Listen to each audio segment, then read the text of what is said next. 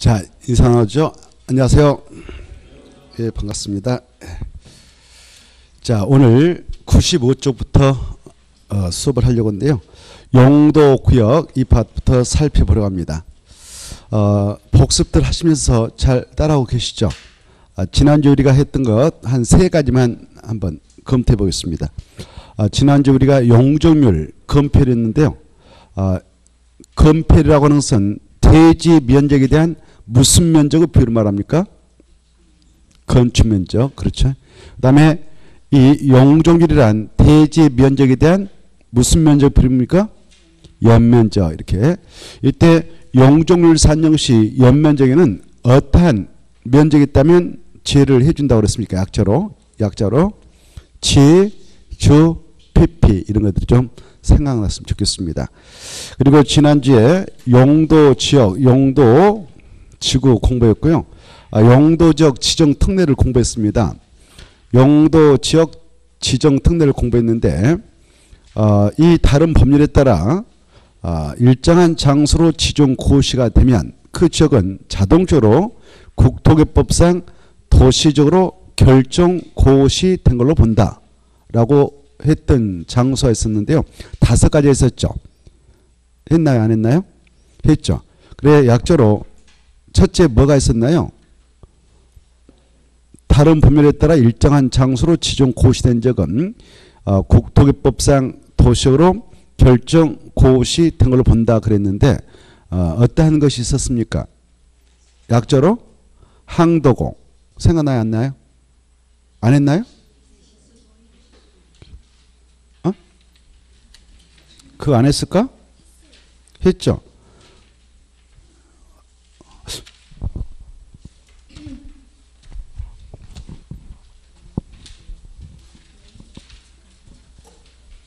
지난주에 우리가 54쪽을 했을 것 같은데 54쪽 했나 안 했나요?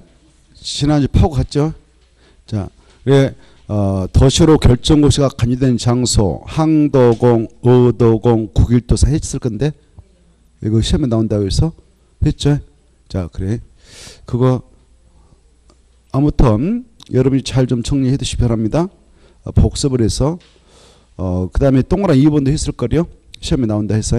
그래, 관리적에 있다가 보전산지다라고 지정고시 했다면 그 고시의 구분인 바에 따라 이 법에 따른 농림지 또는 재환경 포지로 결정고시 간주된다. 그 다음에 관리적에 따라 농지법상 농업진흥지로 지정 고시된 적은 이 법에 따른 농림지로 결정 고시된 걸로 본다. 이런 거 했을 걸. 자, 그걸 복습했죠. 복습 안 하시고 오신 분만 손 들어보세요. 한분다손안 듣네. 다 했구만요, 복습들. 이렇게 열심히 하고 계시면 100% 하게 하실 겁니다. 자, 오늘은 95쪽부터 바로 정리해 들어가도록 하겠습니다. 용도 구역. 지금 우리는 무슨 법을 공부하고 있습니까? 법. 국토의 계획 및 이용에 관한 법률, 약자로 국토개법. 이 법에 규정되어 있는 중요한 계획, 각각 개별 도시 군에 있는 토지를 이 계획 결정을 통해서 관리하고 규제하고 있다고 그랬는데 그 계획이 도시 군 관리계획이다 라고 했고요. 이 계획을 통해서 여러 가지 내용을 입안해 가지고 결정해서 도시의 내용을 정하고 있다고 그랬는데 군에 있는 땅 아, 도시 군가로 결정한 내용 여섯 가지 지금 하고 있습니다. 우리가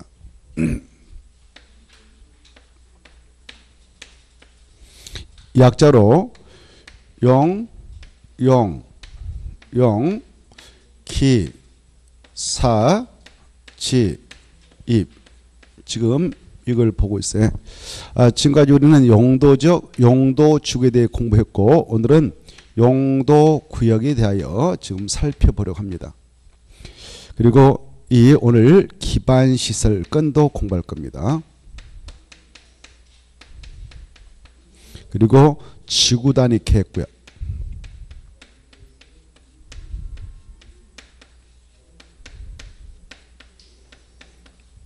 그래 지구 단위 계획구역 지정과 변경 그리고 지구 단위 계획.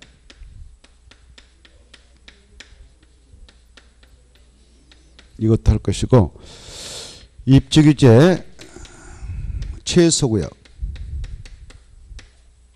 지정과 변경 그리고 입지규제 최소 구역 해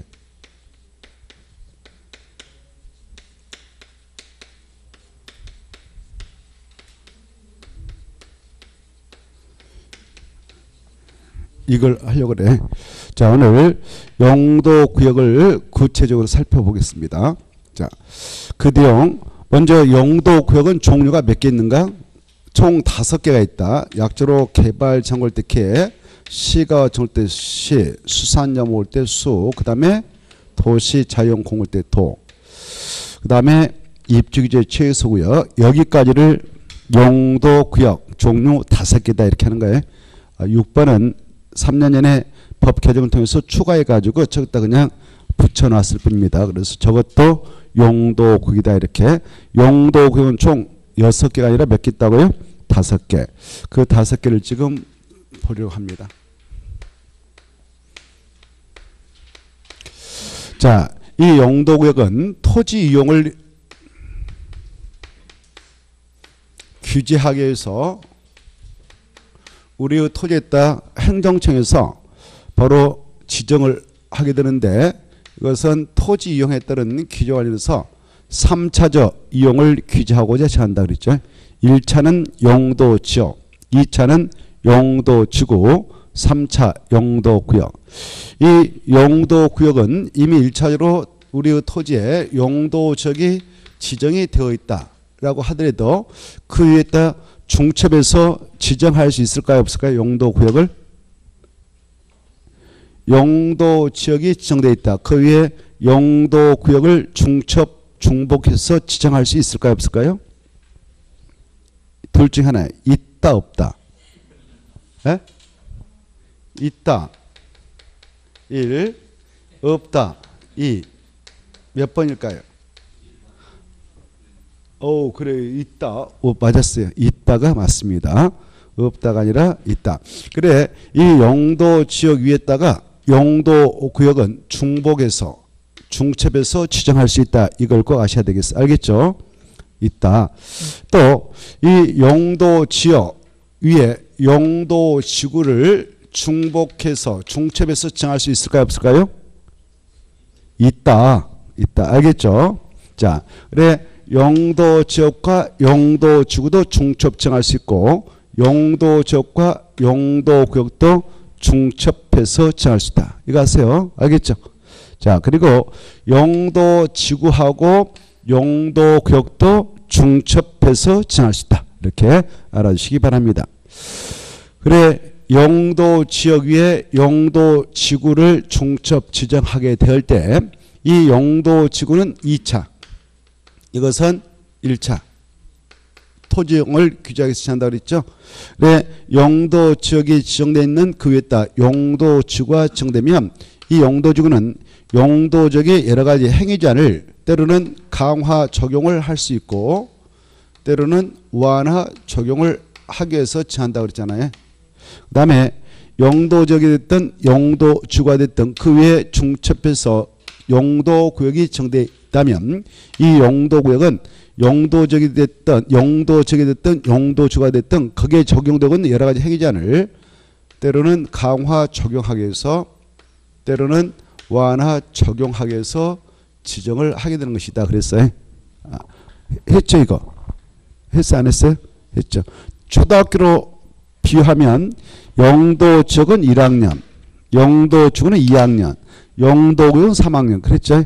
그래 1, 2, 3학년이 있다. 그러면 그 학교의 질서가 바로 쓰려면 1학년은 2학년이 올바른 지시를 내면 따라야 되죠. 그리고 1학년과 2학년이 있고 그 위에 또 3학년이 있다면 3학년이 올바른 지시를 따르면 1학년과 2학년 따라야 되겠죠. 그래야 올바른 질서가 서겠죠.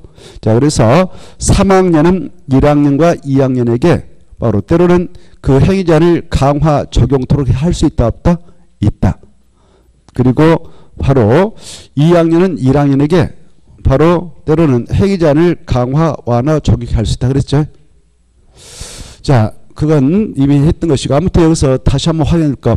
용도 지역과 용도 구역은 중복해서 정할 수 있다 없다? 있다. 영도 지구하고 영도 구역도 중복해서 지정할 수 있다 없다? 있다 이렇게 하시고요. 자, 근데 영도 지역과 영도 지역 간에는 중복 지정할 수 있을까 없을까? 영도 지역과 영도 지역은 서로 중복 지정할 수 없다. 알겠죠?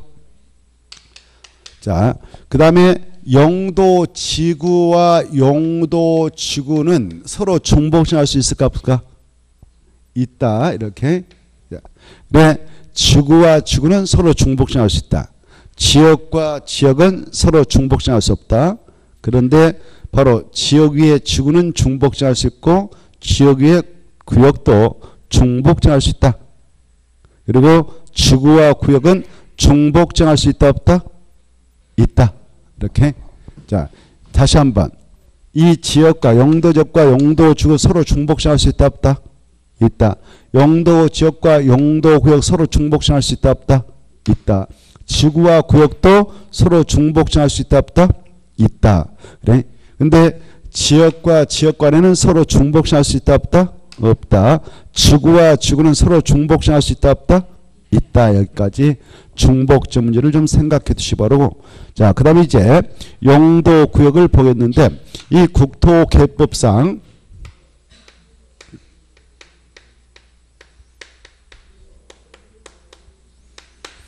영도 구역은 종류가 몇 개 있는가? 먼저 영도 구역 보겠습니다. 영도 구역은 종류가 다섯 개가 있다. 예, 다섯 개, 다섯 개 명칭을 알아야 되겠는데 첫째 개발 제한구역, 둘째 시가와 조정구역, 셋째 그 다음에 수산자원 보호구역, 넷째 도시자연공구역, 다섯째 입주규제 최소고요. 이 명칭을 기억하셔야 됩니다. 자, 그 내용을 보도록 하겠죠. 95페이지 보시면 용도 구역 의에서 볼 것 같으면 용도 구역 찾았나요? 용도기란 토지용의 건축물의 용도의 건폐율 높이, 대, 높이 등에 대한 용도적 그다 줄거 봐요. 용도적 및 용도주구 제한을 강화 또는 완화 그다 체크. 그래 용도 구역은 용도 지역에 대한 행위 제한을 무엇무엇 할 수 있는가? 강화도 할 수 있고 완화도 할 수 있다. 이게 중요해. 그래 강화 적용, 완화 적용도 가능하다. 그 다음에 마지막에 무슨 격으로 결정하는가? 도시 군가로 결정하는 지역이다. 거기다 포인트 딱 주고. 그리고 용도구역은 총 몇 개 있다고요? 다섯 개. 자, 거기다 써놓고 다섯 개. 그리고 다섯 개가 무엇이냐? 넘어서 보면 96페이지 큰 제목들 개발 제한구역, 도시장 공구역, 수산양 보구역, 시가와 조정구역 넘어가서 보시면 입지 규제 최소 구역 이렇게 102페이지 입주 규제 최소 구역 개 여기까지 크게 내다보시면서 공부를 하셔야 되겠다. 용도는 총몇 개 있는가? 다섯 개, 다섯 개. 자, 다섯 개를 딱 봤다. 그래 이제 이 영도구역 다섯 개 명칭을 꼭 아시고 이 다섯 개를 바로 지정하는 지정권자가 누군가? 지정권자 쫙 아시고 이때 지정을 하게 될 때는 계획적으로 할까 무계획적으로 할까? 계획적으로. 무슨 계획으로 결정한다? 도시, 군, 관리, 계획으로 결정해서 한다.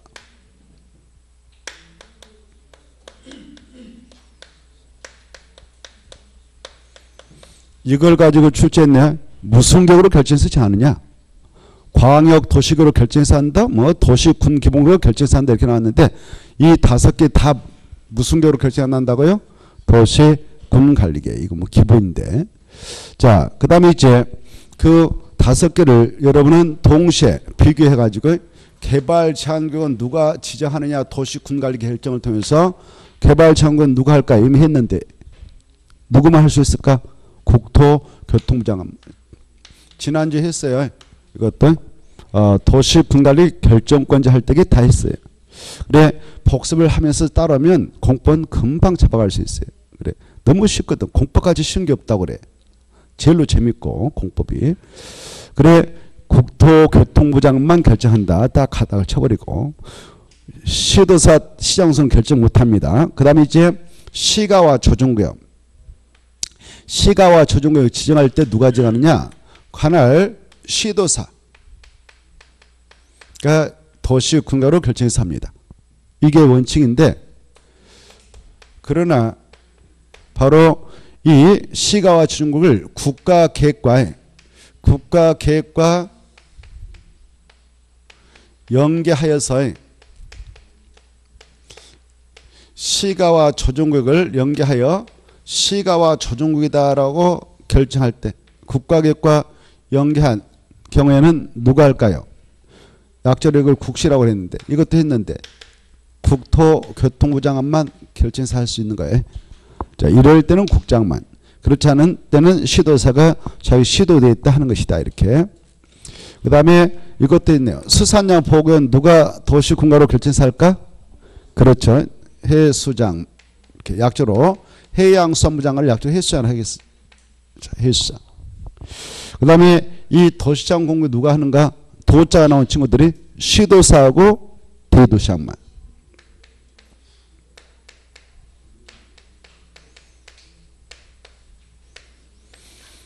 이것은 국토교통부 장관도 할 수 없는 겁니다. 바로 시도사하고 대도시장 한다. 도시장 공격 도자 나오니까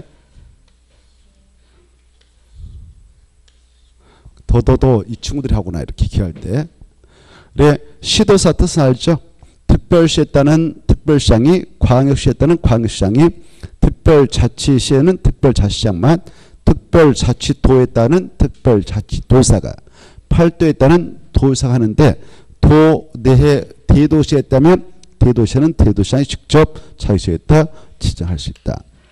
자, 입주기재 최소고요. 이것은 올해만 한식으로 국토교통부 장관이 한다 우리 교재됐는데 그걸 저기 몇 페이지 보시냐면은 102회 봐보세요. 102회 보면 국토교통부 장관 이렇게 나올 거예요. 입주기재 최소고요. 의회 지정해서 찾나요? 거기 국토교통부 장관 그따 지워버리고 뭐안 와도 되고요. 거기다 이렇게 그거하고 국토교통부 장관 그 자리 삭제하고 103페이지 오른쪽에 협의 보면 국토교통부 장관 그뭘 거예요? 두 간대 보인가요? 협의에서 국토교통부 장관 보이죠? 자, 그 두 간들을 국토교통부 장관 그 자리를 삭제해버리고 이렇게 삭제하고 국토교통부 장관 이걸 삭제하고 그 자리에다 이렇게 바깥에 그걸 삭제하고 도시 군 관리.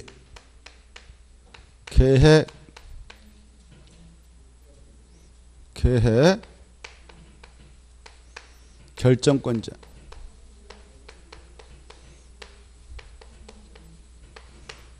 그리고 시장 우선제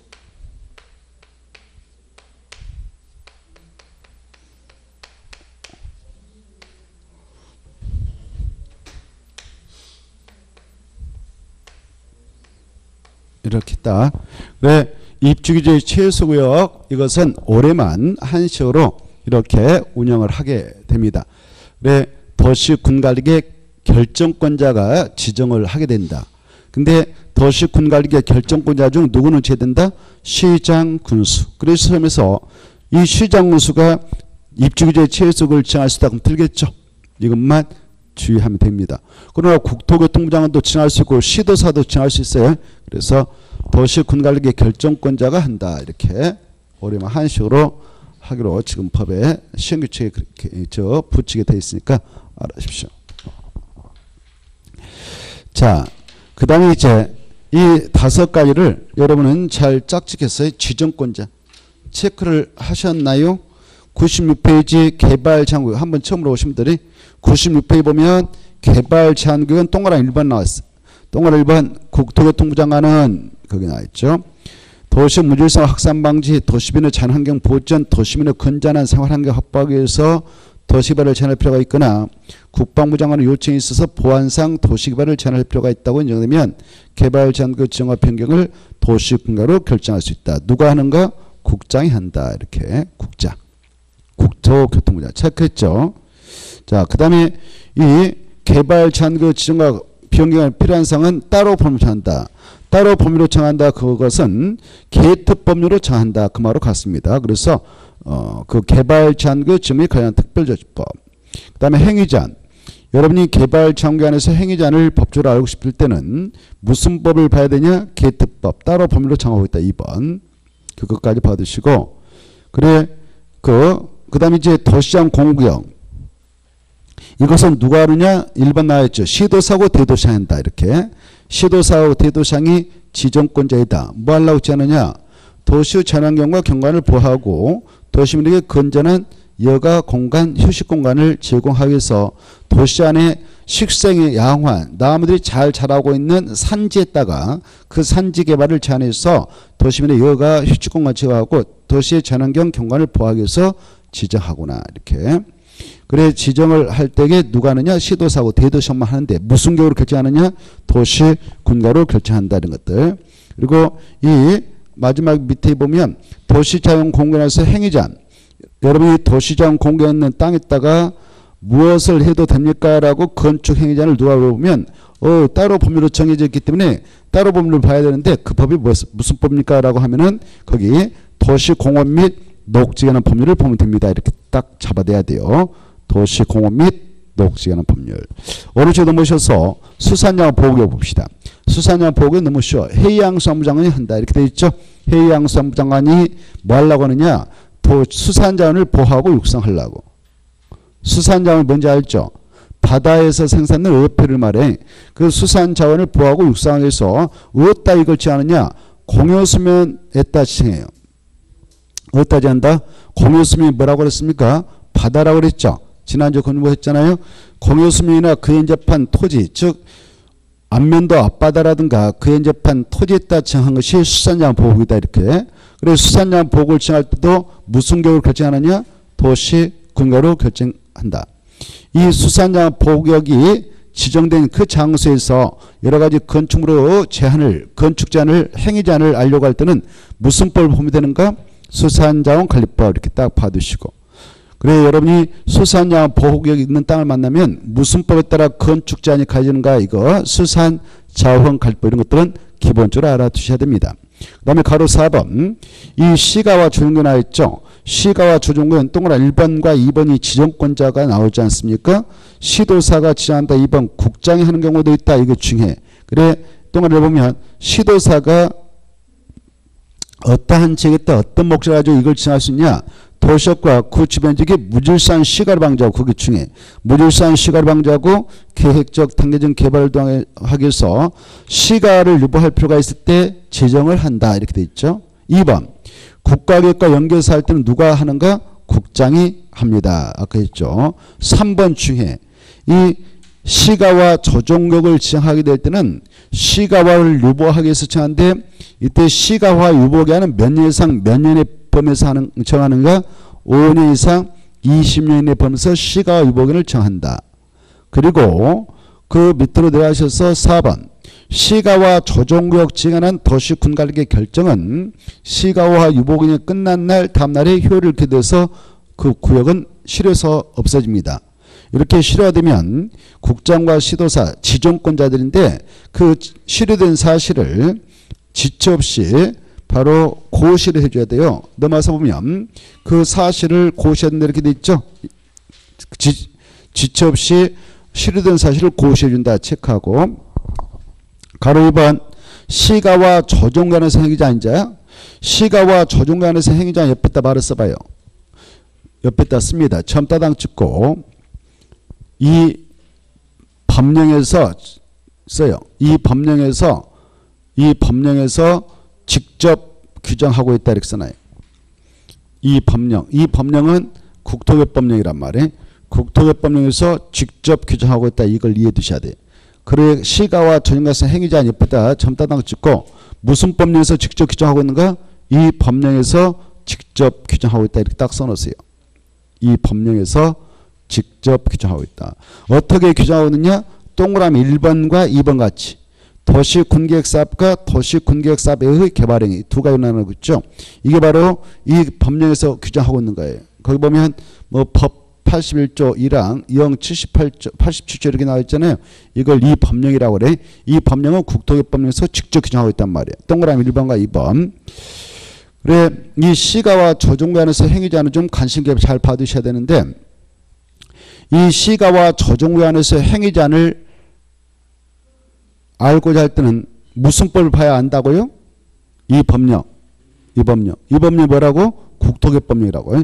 국토 어떻게 규정하느냐? 동그라미 1번과 2번. 이렇게 규정하고 있어요. 도시 군계획사업은 이렇게 한다. 도시 군계획사업이 아닌 개발은 이렇다라고 규정하고 있는데 자 1번 보면 도시 군계획사업 지정된 시가와 조정관에서 도시 군계획사업은 원칙은 금지합니다. 거기다 써봐요. 도시 군계획사업 옆에다 원칙 금지 애회 허용 이렇게 써놔. 원칙 금지 애회 허용 이렇게 딱 써놔요. 썼나요? 자 그래서 시가와 조정관에서 도시 군계획사업 원칙적으로 허용한다 원칙은 금지한다 금지한다 그랬어요. 그러나 예외적으로 허용한다 그랬죠. 이제 그러면 지정된 시가와 조정관에서 도시 군계획사업은 외회적으로 허용한다 그랬는데 어떨 때 허용하느냐 그거 나왔습니다. 국방상 또는 공익상 그 시가와 조정관에서 그 도시 군계획 사업 시행이 불가피한 것으로서 관계 중앙 행정기관의 정부 요청에 의해서 바로 국토교통부 장관이 시가와 조정교육 목적 달성에 지장이 없다고 인정한 도시 군계획 사업만 시행할 수 있다 이렇게 이럴 때만 외의적으로 허용하는 거예요. 이게 바로 외의적으로 허용되는 사유가 되겠습니다. 이걸 잘 이해하셔야 돼. 이게 자주 등장하니까. 그래 원칙은 금지되고 외회는 어쩐다고 허용된다 이렇게. 그 다음에 그때 도시 군계획사만 시행할 수 있다 이렇게 됐는데요. 끝에 때 이렇게 써요. 이 경우 이 경우 써봐. 도시 군계획사만 시행할 수 있다. 이 경우 씁니다. 이 경우 이 경우 이 경우 허가 없이 허가 없이 허가 없이 그 사업을 시행할 수 있다. 이 경우 허가 없이 그 사업을 시행할 수 있다. 이렇게. 이 경우 허가 없이 그 사업을 시행할 수 있다. 그래 이 도시 군객 사업은 허가를 받아야 할 수 있다. 허가 없이 할 수 있다고요? 허가 없이. 국장이 그냥 인정하면 할 수 있는 거예요. 국장이 국방상 국가안전 보장상 국방상 공익상 그 사업 시행이 불가피한 경우서 관계 중앙 행정기관장의 요청이 들어가고 요청을 받았던 국장이 그 구역 지정 목적 달성에 지장이 없다고 인정하는 도시 군객 사업은 외주로 할 수가 있다 했는데 그런 사업을 하게 될 때는 허가를 또 받아야 한다 받지 않고 한다 받지 않고 허가 없이 이게 중요해 허가 없이 바로 할 수 있다 이렇게 하시고 이제 도시 군객 사업이 아닌 것은 동그라미 2번 허가를 받아야만이 가능합니다. 시가와 조정구역 안에서는 도시 군객 사업에 의하는 경우에는 다음에 해당하는 행위 한정에서 관할 특광 특특 시장소에게 못 받아야 그 행위를 할 수 있는가 허가를 받아 이게 중요해. 이 파트를 잘 이해하셔야 돼. 그래 이제 이 시가와 조용안에서는 도시 군객 사업은 허가 없이 아까 국장이 하도록 인정한 사업은 가능하고요. 이 도시 군객 사업이 아닌 행위는 법정된 행위 한에서만 바로 못 받아야 그나마 할 수 있느냐 허가 받아야 허가권자 누구냐 관할 특강 특특 시장수다 허가를 받아야 한다. 그다. 동합체 허가를 받아야 됩니까? 신고하면 됩니까? 허가. 허가를 받아야 그 행위를 할 수 있다. 이렇게. 그래 그 허가 받아서 할 수 있는 행위가 기억 니은 넘어가서 보면 디귿까지. 디귿까지 묶어버려. 크게. 기억 니은 디귿을 크게 묶어버렸어요. 묶어가지고 하나 써놓으세요. 자 기억 니은 디귿을 묶어가지고 불러드릴게요 시가와 조정간에서 시가와 조정간에서 허가 받아서 시가와 조정간에서 허가 받아서 할 수 있는 행위 허가 받아서 할 수 있는 행위는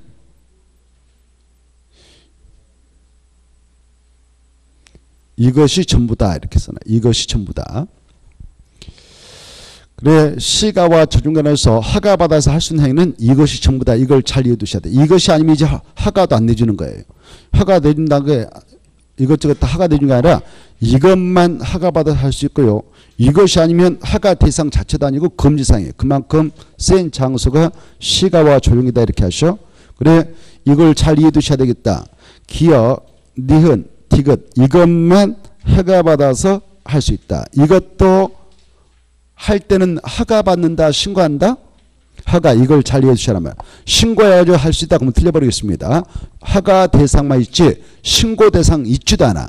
자 이걸 이 내용은 지금 우리 국토개법령에 규정돼 있죠.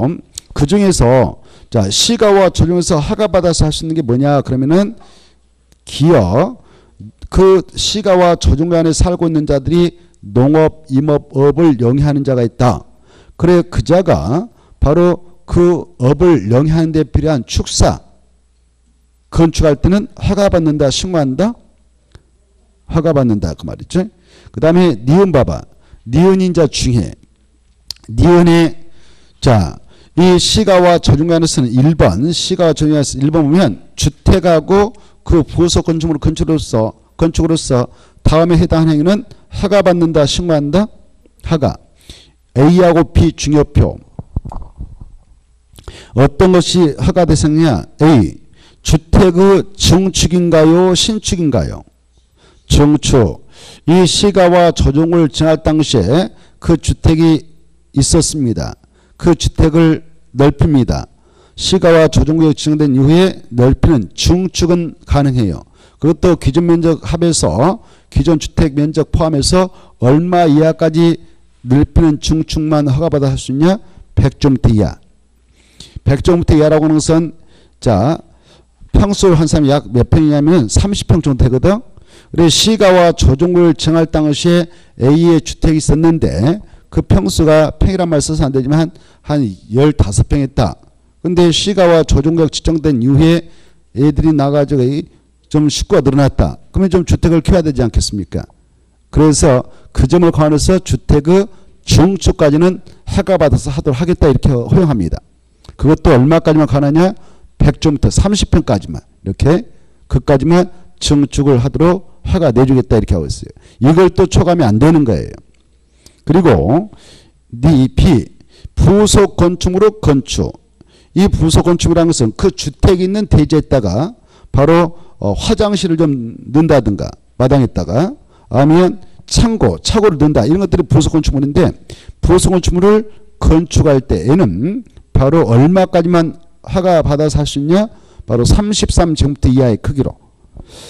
33제곱미터라는 것은 평수로 말하면 약 10평, 10평. 10평이 아니라 10평 맞네요. 어? 10평. 10평의 크기로 부속 건축물은 건축까지 가능해. 건축에 요 부속 건축물은 무엇도 되는가? 건축. 건축 뜻은 우리가 공부했을까 안 했을까? 일순환 돌린 사람, 돌린 분들 있잖아요. 거기에 건축이라는 것은 신축 포함될까 안 될까? 궁금해서 물어보면 돼요. 예? 그렇죠. 포함되어 있죠. 공부를 열심히 하신 거, 제일 열심히 하신 거 느낌 와요. 그래 건축이란 말은 신축, 증축, 개축, 재축, 이전을 말한다고 우리가 공부했는데 건축법에서 그렇죠. 그다 써놓으세요. 건축에다 땀쳐가지고 부수 건축으로 건축할 때 건축 있잖아요. 그때 건축이란 것은 무엇도 포함된다고요? 신축도 포함된다. 그 가로 안에 또 써놨잖아요. 신축도 증축도 재축도 됩니다. 이렇게 돼 있죠. 그래. 그래 신축도 포함되는 거예요. 건축이란 용어 속에가. 그래서 부속 건축물은 신축도 됩니다. 신축도. 허가 받으면. 근데 주택은 신축 될까 안 될까? 안 돼요. 그것도 써요. 옆에다 써놔요. 불러드릴게요. 주택의 신축은 금지사항이다 이렇게 써놔. 공부하기 좋게. 그걸 아시는 것이 여기서 시험 공부예요. 그게 키포인트거든. 주택의 신축은 허용사항이다 금지사항이다? 무슨 구역에서? 시가와 조정구에서. 시가와 조정을 딱 정해놨는데 그 이후에 거기다 주택을 신축하겠다 이건 안 되는 거예요. 금지사항이니까 허가 자체가 이루어질 수가 없다. 뭔만 가는 거야? 정축만. 오 좋아요. 주택의 정축만 그건 나와 그것도 신고하고 한다 지 맘대로 한다 하가 받아야 된다? 오 그래 그렇게. 그래서 그 파트를 중요해 가지고 잘 이해 두셔야 돼요. 여기서 어 바로 이해를 못하면 여기 하나만 합니다. 여기가 가장 키포인트니까 주택이라고 하는 것은 바로 시가와 전에서 하가 받아서 증축만 가능하다. 신축은 안 된다. 증축을 하게 될 때 면적도 기존 주택 면적 합해서 100종대 이하까지만 가능하다. 그리고 부속 건축물을 주택 있는 그대에다가 신축한다면 33종대 이하 크기로 허가받으면 가능하다. 이게 중요하단 말이에요. 됐죠? 나머지는 볼 것 아니고 오른쪽 하나 봅시다. 3번. 3번을 잘 받으셔야 되겠는데 이 시가와 조정안에서는 공익시설 줄 거예요. 제가 수업 시간에 체크해드리면 여러분은 그 파트만 집중해서 공략해야 되죠. 다른 거 봐봐야 다 시간 낭비고 그건 하나만 하는 것입니다. 학교 가려고 이 공부하지 이 공부하려고 한 것도 아니잖아요. 공부도 꼭 안 하신 분들이 하지 말란 거다 잊고 있어요. 막 밑에 있는 거에 싹 잊고 있단 말이에요. 이렇게. 뭘까 뭘까 그러고 나서 고민하다 잠들어온단 말이죠. 속 터져버리죠. 속 터져버려.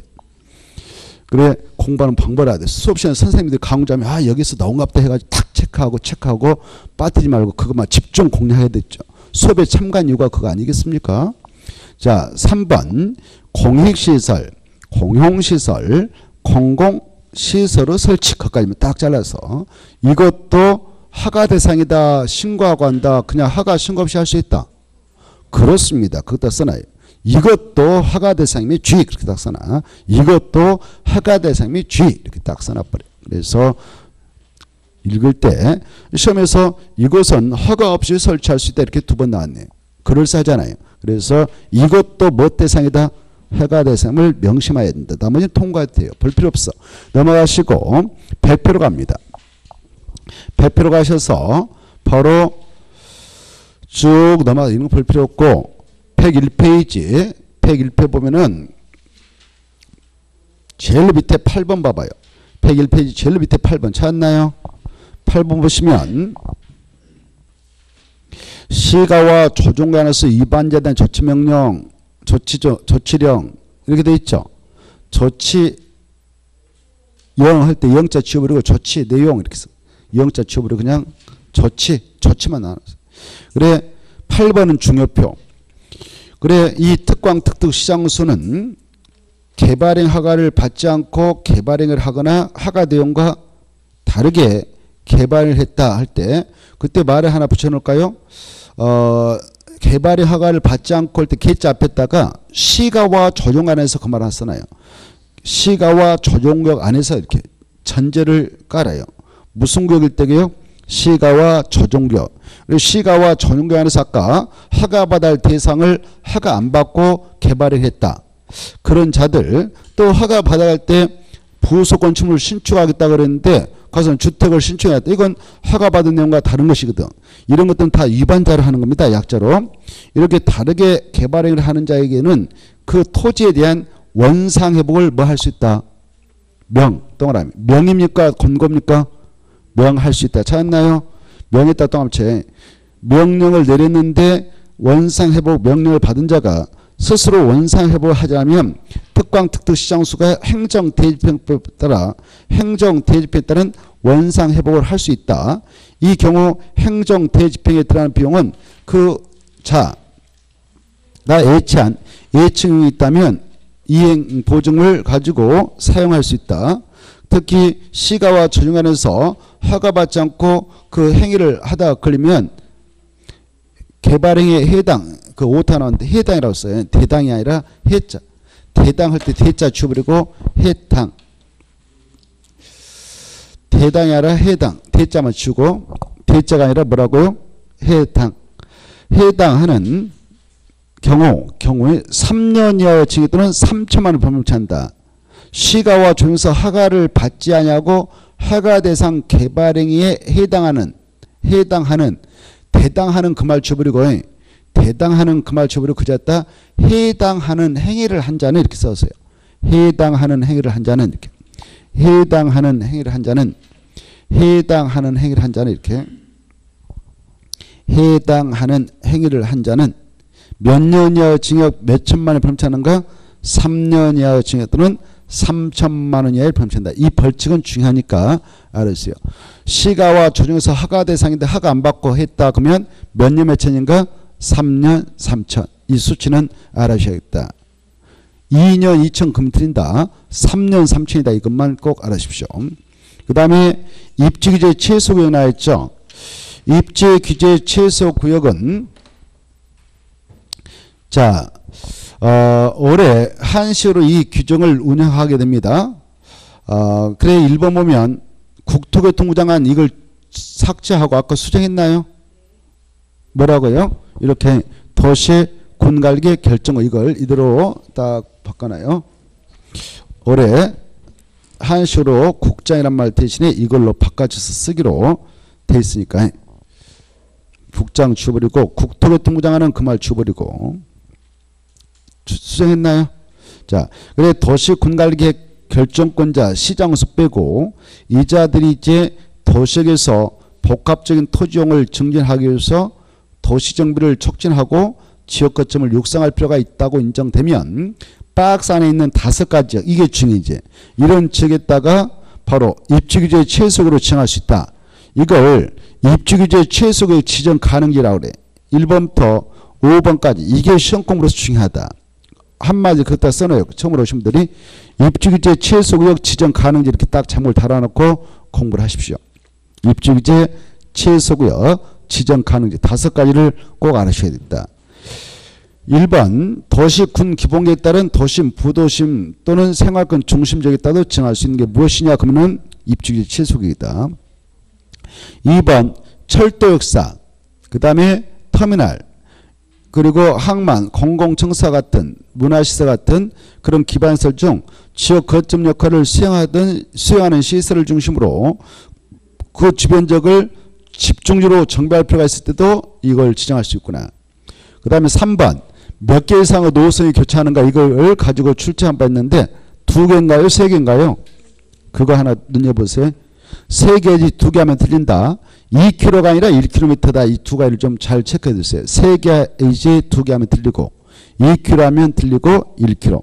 그래서 세 개 이상의 노선이 교차하는 대중교통 결지로부터 1km 내에 위치한 지에 따라서 정할 수 있고 3번 도시 및 주관상 노블랑시 밀집한 주거적과 공업적으로서 정비가 시급한 지역 그 다음에 5번 도시 재생 활성화 및 지원 특별법이 있는데 그 법에 따른 도시재생 활성화 지역 중 도시경제 기반형 거기다 도시경제 기반형 활성화 계획을 수반하고 있는 지역 이런 지역에 따라 정할 수 있는 게 뭐냐 그러면 답은 입지 규제 최소기다 이렇게 나와야 돼 다섯 개 용도구역 중 입지 규제 최소기 나와 있다. 가로 2번 이런 입지 규제 최소구역을 대상으로 해서 이 장소는 이렇게 개발 정비를 통해서 조성해 나가도록 하겠다. 라는 계획을 만드는데 그 계획을 입주규제 최소구역 계획이라 해요. 입주규제 최소구역 계획을 만들 때는 박스 안에 걸 포함합니다만은 거기 보여 2번 입주규제 최소구역 계획이란 뜻을 좀 받으세요. 입주규제 최소구역 계획이 뭐냐 그러면 반드시 입주규제 최소구역에서만 만드는데 입주규제 최소구역에서의 토지용을 이렇게 한다. 건축 용도는 이것만 건축도로 규제한다. 그리고 그 건축물 건축할 때 정도 건폐율을 높이는 이렇다라는 제한사항 등 입지기재 최소구역 관리에 필요한 사항을 정하기 위하여 수립하는 도시군가격을 말한다. 그리고 이런 입지기재 최소구역을 만들 때 입지기재 최소구역 지 목적을 이루기 위해서 박스 안 내용이 꼭 포함되는데 어떤 내용이 포함되냐? 그 안에 건축을 하게 될 때 어떤 용도의 건축물을 건축해야 할 것인가라는 건축물 용도 종류 규모를 정해주고 그 건축물 건축할 때 저들은 건폐용률 높이를 정해주고 그 안에 들어설 주요 간선 도로 같은 기반서 확보는 이렇게 하겠다. 그리고 용도 그 안에 들어서는 땅에 대해서 그 안에 편입된 땅에 대하여 용도직 용도주고 도시 군객설 지구 단위계 결정에 관한 등도 포함하고 5번 다른 법률로 균형에 완합니까 강화합니까 이거 체크해 보세요. 완화 배제 그 장소에서 지금 적용되고 있는 다른 법률의 규정 적용을 대포 뭐 해준다? 완화 배제. 이거 강화하면 들겠다. 강화해라 완화 배제. 그 정도 완화 배제. 그것다 포인트. 완화 배제. 그래 입주기재 최소 구역에서는 다른 법률의 적용을 대폭 완화하고 다른 법률의 적용을 아예 폐지하도록 해서 규제를 최소화시키게 됩니다. 건축물 건축할 때 적용되지는 규제를 뭐한다? 최소화시켜주겠다. 그래서 그 안을 개발하고 정비해서 조성할 때 그 시간, 시간을 단축시켜서 시급하게 그 장소의 도시 공간을 재생시키도록 하겠다. 그래서 그 지역을 그 도시에 있어서 거점적으로 다시 살려내 가지고 다시 도시민들 그쪽으로 몰려들게 하겠다 해서 지정해 가지고 바로 나가는 것이 입지 규제 최소 구역인데 그 장소에 대하여 만든 계획이 입지규제 최소구역 계획으로서 입지규제 최소구역 계획이 결정 고시되면 고시된 그 계획대로만 그 구역은 개발과 정부를 통해서 조성이 되어집니다. 오른쪽에 봅시다. 가로 3번 3번 보면 자 이것도 잘 읽어두셔야 되겠습니다. 제가 읽고 하면 그것만 딱 읽고 입주규제 최소구역의 지정과 변경 지정 및 변경과 입주규제 최소구역 계획은 밑에 줄 무슨 계획으로 결정한다? 도시 군 가요로 결정한다. 이것만 딱 체크하고 뭐 다 했던 것이죠. 입주규제 최소구역 지정과 변경 무슨 계획으로 결정하는가? 도시 군 관리계. 또 입주규제 최소구역 계획도 무슨 계획으로 결정하는가? 도시 군 관리계획으로 결정한다. 아주 중요해. 그 다음에 이제 밑으로 쭉 내려가셔서 5번 하나 볼까? 기반시설 설치 및 부담. 이 입주규제 최소구역이 지정된 장소에 여러분 땅이 있다 합시다. 그러면 여러분 땅은 땅값이 올라갈까 내려갈까요? 올라갑니다. 규제가 최소화되고 그거는 거점적으로 육성되어지니까 땅값은 폭등하게 돼 있어요. 알겠나요? 그리고 그쪽에 이제 공원도 만들고 도로도 시원하게 만들어야 될 건데 엄청난 그런 비용이 들어갈 거 아닙니까? 그래서 우리가 그 안에 있는 땅을 가지고 있는 자로서 우리가 그 안에서 개발 사업 개발한다. 그러면 우리에게 그 지역을 권하고 있는 시도사 시장소 구청장께서는 기반설 설치 비용으로 좀 쓸 테니까 돈 좀 내놓으세요라고 법조를 할 수 있어요. 그때 내게 하는 돈은 토지가치 상승을 초과하는 범위에서만 내게 할 수도 있습니다. 그 내용인데 5번 시도사 시장수 구청장은 입주규제 최소구역에서 개발사업 개발행위를 하게 된 자에 대하여 그 말에 개발행위에 대하여 입주규제 최소구역 계획에 따른 기반사 확보를 위하여 필요한 부지 설치비용 전부 일부를 부담시킬 수 있다. 그때 그 비용은 부담시킬 수 있는 그 비용은 그 말에 부담시킬 수 있는 설치 비용 부담은 건축장 완화에 따른 토지가치 상승을 초과하지 않도록만 하면 된다 이렇게 돼 있죠. 자, 그 다음에 밑으로 내려가셔서 통과해도 되겠고 넘어가서 보시면은 104페이지 9번은 꼭 알아두셔야겠다. 9번면 입주기재 최소구역에서의 행위자는 그 용도적 용도주고 용도 지역에다 줄 것이고 1차 용도 주겠다 2차 용도 지역은 몇 차다고요? 1차 용도 지역은 몇 차다고? 2차 근데 용, 입주기재 최소구역에다 줄까 봐요. 9번. 입주기재 최소구역에서 행위자는 할 때 입주기재 최소구역은 용도 구역이니까 몇 차일까요? 3차죠.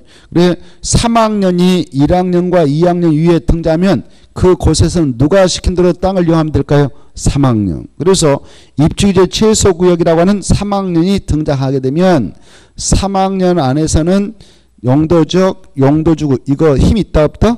없어. 그래서 그 용도적 용도적의 여러 가지 제한을 뭐뭐 하도록 있냐? 강화하거나 완하여 따로 정해도 할 말 없죠. 그때 무슨 교로 결정해버리냐? 입지규제 최소구역 계획으로. 그래 여기서 입지규제 최소구역 안에서 행위자는 누가 시킨 대로 하면 되냐? 입지규제 최소구역 계획. 거기다. 그래 입지규제 최소구역 계획으로 행위자이 가해주고 있구나 이렇게 받으시면 좋겠습니다. 나머지는 뭐 볼 거 별로 없고요.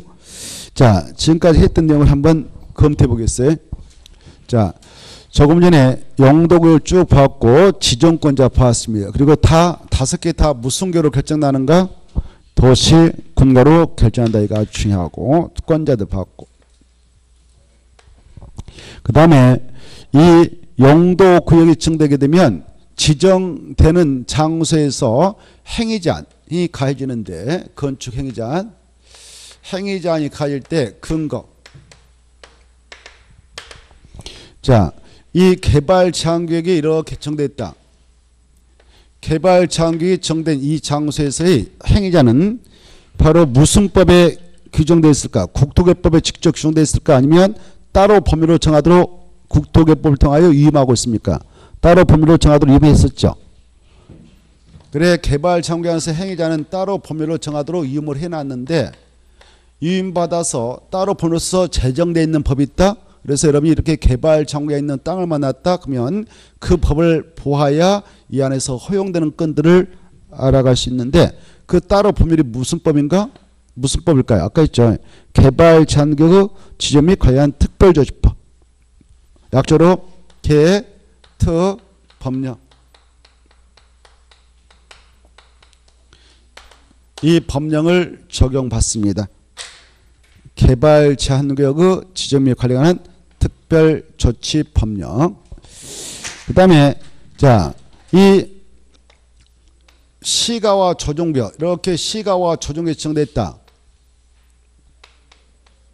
그 안에서 행위자는 어디에서 규정하고 있다고 그랬습니까? 이 법령에서. 이 법령은 국토개 법령.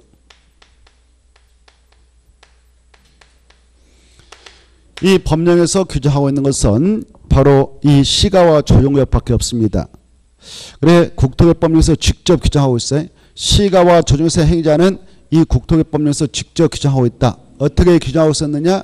이와 같이 규정하고 있었다. 자, 두 가지 나눴었죠. 도시 군객사 문제하고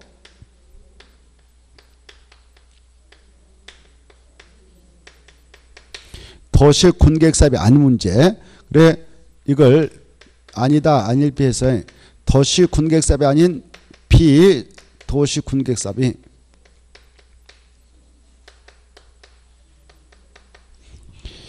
그래 이 시가와 조중안에서는 도시 군객 사업은 원칙은 허용된다 금지된다? 여기서 이렇게 시가와 조정이 지정된 그 장소에서 도시 군객 사업은 원칙적으로 허용된다 금지된다? 원칙 금지된다 그랬죠. 그만큼 센 장소 이거. 그런데 외회적으로 허용되는 경우도 있다고 그랬죠. 그래 과거에 여러 번 여기서 이걸 가지고 이해하고 있는 거를 여러 각도에서 표현해서 취재했는데 도시 군객사업은 시가와 조정에서 일체 금지된다. 그러면 틀려요. 원칙 금지 예외 허용. 알겠죠?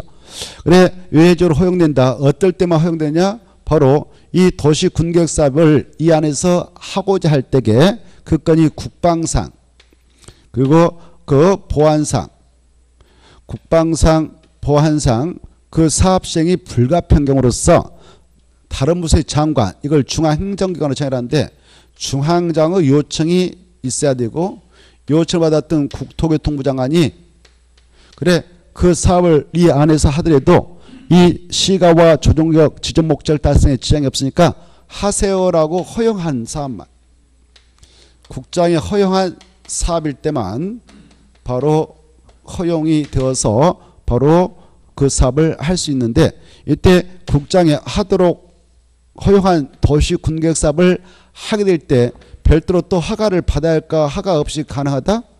허가 받지 않는다고 그랬어요. 이 도시 사업은 허가 대상 아니다 이렇게 하셔요. 허가 받지 않고 그냥 하면 되는 거예요. 이때 도시 군객 사업에 대해서 우리가 공부했나요 안 했나요? 도시 군객 사업은 뜻이 뭐예요? 도시 군 관리 저기 도시 군 관리격을 시행하는 사업이죠.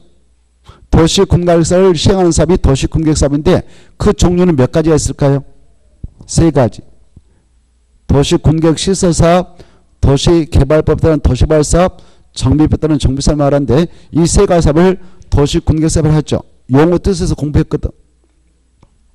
아무튼 그 세 가지 모두 다 바로 이 시가와 조정에서 원칙 금지되고 의료로 허용되는데 어떨 때만 허용되냐 국방상 보안상 그 사업 시행이 불가평경으로서 관계 중앙 행정기관 장관 요청이 들어가 요청받았던 국토교통부 장관이 그 건을 해도 이 구역 지정 목적 달성에 지장 없으니까 하세요라고 허용한 사업일 때만 가능하다. 그럴 때는 별도로 허가받아서 하는 거 아니다. 이렇게 딱 이해하시고요.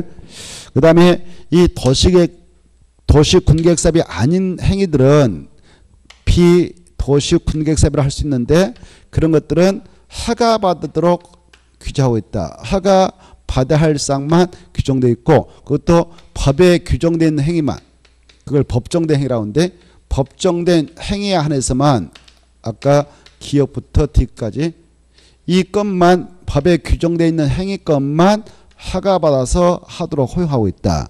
이때 허가권자는 특광 특특 시정수 있는데 그네들한테 허가받아야 할 대상이 많았지만 시험 공부로서 주택 문제가 아주 중요하다고 그랬죠. 주택은 신축을 할 때 허가 받으면 된다 안 된다? 안 된다. 이거 허가사항 자체가 아니다. 금지사항이다. 뭔만 허가받아서 하도록 됐냐? 증축. 그것도 면적 합에서 얼마까지만? 100조부터 이내까지만.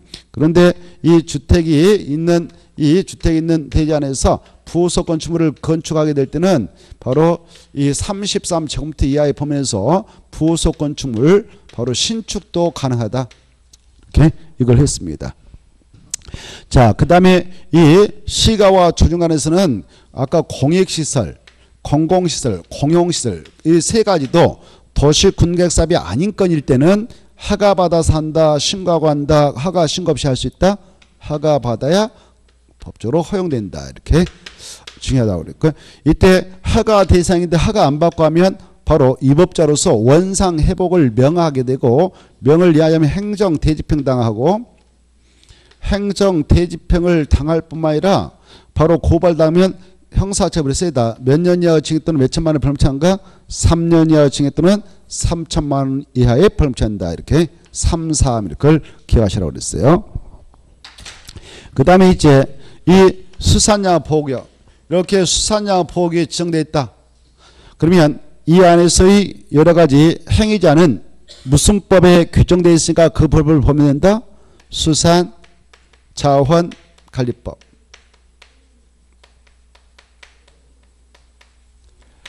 그 다음에 이 도시장 공구역.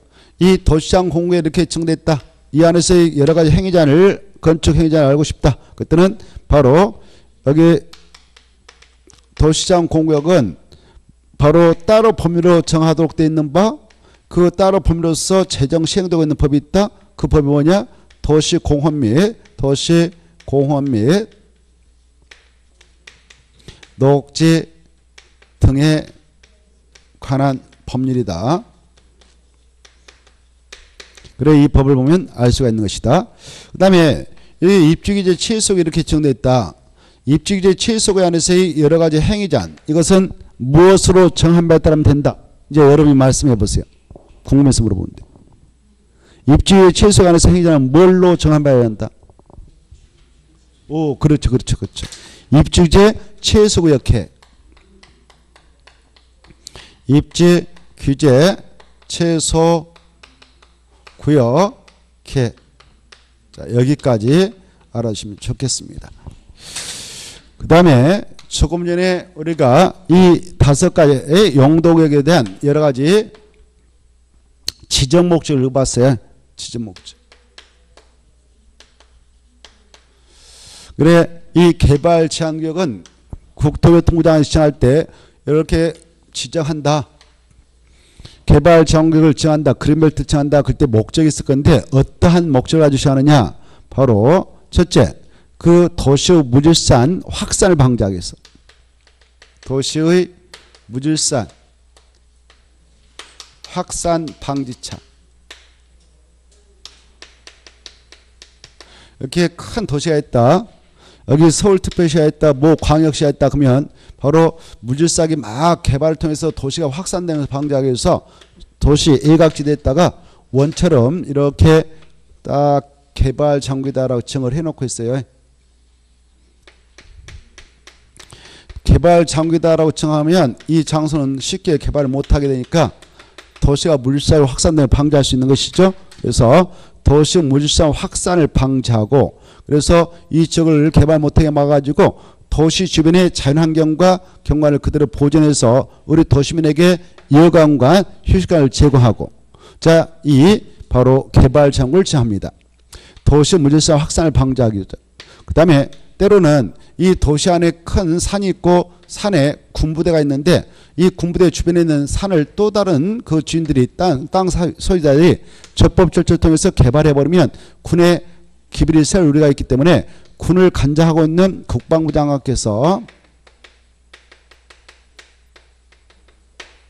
이 지역의 땅을 개발해 버리면 군의 보안상 구멍이 생길 수가 있습니다. 그래서 주변 산을 개발하지 못하도록 해 주었으면 좋겠습니다라고 국토교통부장한테 개발 장격 지정을 신청할 수 있어요. 요청할 수 있단 말이에요. 이런 요청을 받아서 바로 지정되어지는 구역도 바로 개발 장교란 이름으로 지정합니다. 그래 국방부 장관의 요청에 따라. 이게 중요한데 국방부 장관의 요청에 의해 요청에 하여 보안상 보안상 보안상 도시 개발을 제한하기 위해서 지정될 수 있는 걸 뭐라고 하느냐? 시가와 조용을 한다. 그럼 들리고 뭐라 개발 장격 자 이거 중요해 가지고 보안상 도시 개발을 제한하고자 한 것이 무엇이냐 그러면은 개발 장구이지 시가와 조정이 아니다 이렇게 하시고 그다음에 이제 이 시가와 조정구역은 바로 크게 보면 두 가지 목적을 가지고 칭해요. 어, 이 도시 근교에 무질서하게 막 이렇게 도시화가 이루어질 수 있어요. 시가와. 그래 이 큰 도시 인천 광시에 있다. 인천 광시 주변 땅이 있는데 여기 원래 자연 녹지역이었고 계획과적인 땅이었다고 가정합시다. 근데 오늘부로 이 지역을 바로 용도를 변경하셨어. 뭐 제2종 일반 주거지이다. 제3종 일반 주거지다. 이렇게 변경하시면 아파트 질 수 없었던 땅들이 아파트를 질 수 있는 땅으로 변경되어서 막 도로가 아직 개설도 안 됐는데 막 아파트가 나홀 아파트 등장해서 무질서하게 시가와 조성될 우리가 있어요. 시가화란 것은 도로가를 타고 도시화가 이루어진 것을 말하는데 와 이렇게 물릴싸게 도로도 아직 구축이 안 됐는데 물릴싸게 도로 도시가 이루어질 우리가 있는 지역이 있다 그러면 그 일대에다가 바로 여기는 당분간 시가화를 유보시키겠다라고 지정할 수 있어요. 시가화를 유보시키겠다. 그래서 다음에 이 장소를 보다 계획적이고 단계적으로 개발을 통해서 기반시를 쫙 구축해 나가고 만들어 가겠다. 이럴 필요가 있는 지역이다 친 것이 시가와 정입니다. 그래 도시역과 그 주변 이제 무질서한 시가를 방지하고 그래서 무질서한 시가를 방지하고자 그리고 그 지역을 보다 단계적 계획적으로 계획적 단계로 개발을 도모하기 위해서 잠시 시가화를 유보해 나갈 필요가 있을 때 정한 것이 시가화 정인데 이때 시가화를 유보시켜 나갈 때 유보시킬 수 있는 기간은 최소 5년 최대 20년 이 내에서 이 유보 기간을 시가와 조정을 지정고시할 때 아울러 선택해서 고시를 하게 돼요. 이렇게. 그래 근데 10원이다라고 시가 유보 기간을 선택해서 고시했다면 이 기간이 지나자마자 그 다음 날이면 이 구역은 실효토로 하고 있습니다. 시간제가 적용들 하고 있어요. 그래 이 시가와 조정구역은 두 가지 목적 가지고 제한다 이렇게 알았어요. 약자로 시계 이렇게 시계. 그래 시가 뭐냐 그러면 바로 무질산, 무질산, 무질산, 무질산 시가화 방지.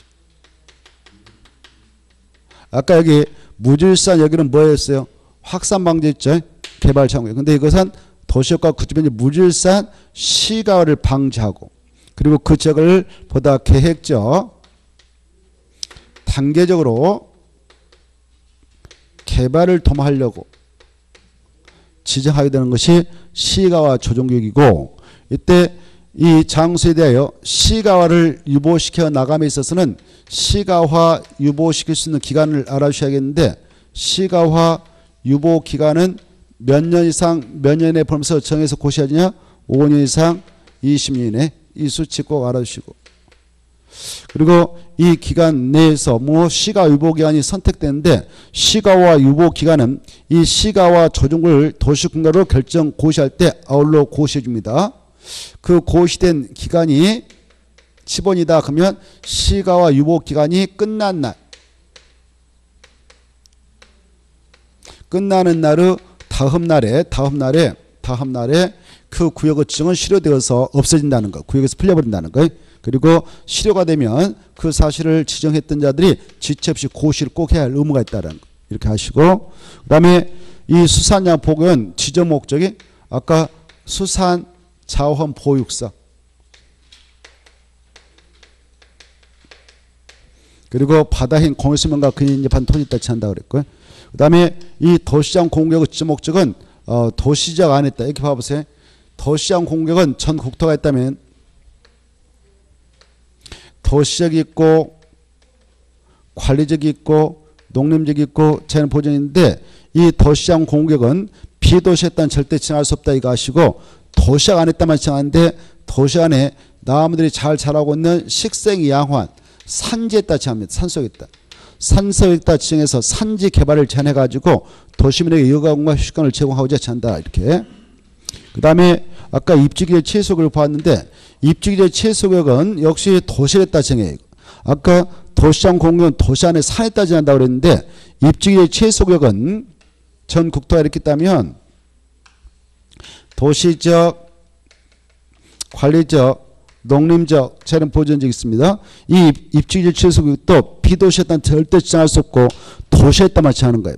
도시에 따라 정하는데 주로 어디다 정하느냐 이미 1차적으로 개발이 이루어진 장소로서 사실상 그 지역이 공동한 현상이 일어나고 있는 지역 텅텅 비어가고 있는 지역 그 지역을 시급하게 도시 재생시켜서 다시 살려낼 필요가 있다 도시 재생을 시켜야 할 필요가 있는 지역 이런 지역에다 지정을 하게 되는데 지정을 하게 되는 경우 어떤 효과가 있도록 하냐? 이 입주일의 최소에다 건물을 세울 때는 거기에 건물을 세울 때 정부는 여러 가지 규제를 규제를 최소화시켜 주기 위해서 그래서 이 안을 개발할 때 시간을 최대한 단축시켜 가지고 도시생을 시급하게 해야 할 필요가 있는 적이 있다면 지정해 나갈 수 있는 것이 입지 규제 최소로서 한 번 지정되면 그 지역은 거점적으로 육성을 하려고 하는 장소만큼 땅값은 올라가게 돼 있고 이 장소는 행정처에서 주도적으로 살려내게 되는 거점적이 되도록 하는데 그 지역 주로 어디다 이걸 지정하느냐 지정할 수 있는 장소는 도시역 내중에서도 다섯 가지 지역에다 지정을 해 나갈 수가 있다. 이 다섯 가지 지역을 여러분은 중요시해서 꼭 알아셔야 된다. 그래 이 도심이라든가 부도심 생활권 중심 지역에다도 지정할 수 있고 아까 그 다음에 바로 철도역사라든가 터미널 또 문화 시설 이런 중추적 역할을 했던 기반설 주변적을 어, 시급하게 정비해서 살려낼 필요가 있는 지역도 지정할 수 있고 세개 이상의 노선이 교차하는 대중교통 결절부터 몇 킬로미터 이내 지역을 시급하게 정비할 필요가 있을 때도 지정할 수 있냐 1킬로미터 이내 그 다음에 바로 및 주관경 정비법상 노후 불량물침이 밀집해 있는 지역 중 바로 주거적과 또는 공업적을 시급하게 정비해서 어, 살려낼 필요가 있는 지역도 지정할 수 있다. 그 다음에 도시 재생 활성화 계획을 수립하고 있는 지역 중 도시 경제 기반형 활성화 계획을 수립하고 있는 지역에다도 이 구역을 지정해낼 수가 있다. 이렇게 하십시오. 거기까지는 좀 알아주셔야겠고 이제 금방 살펴봤던 내용에서 함자가 나올 거예요. 용도 구역에서. 자, 잠시 쉬었다가 이제 우리는 무엇을 보느냐. 쭉 넘어가셔서 넘어가면은 111페이지가 나올 겁니다. 111페이지 이제 이걸 우리가 하려 합니다. 지구 단위 계획구역과 지구 단위 이 파트를 먼저 하고 그 다음에 끝난 다음에 이쪽으로 가겠습니다. 조금 전에 우리는 이 용도 구역에 대해서 쭉 공부를 했어요. 자 이거 그 다음에 하겠습니다. 쉬었다.